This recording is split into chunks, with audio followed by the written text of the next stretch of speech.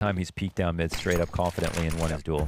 Throws a smoke that actually just got stuck inside of library. So now let's see him. He's in a kind of flustered spot, right? That smoke should have been thrown forward. Free kill. Ooh, dude, nice. I think that was harder than it looked. I want to say. Yeah, Could have missed. very nice. I like that.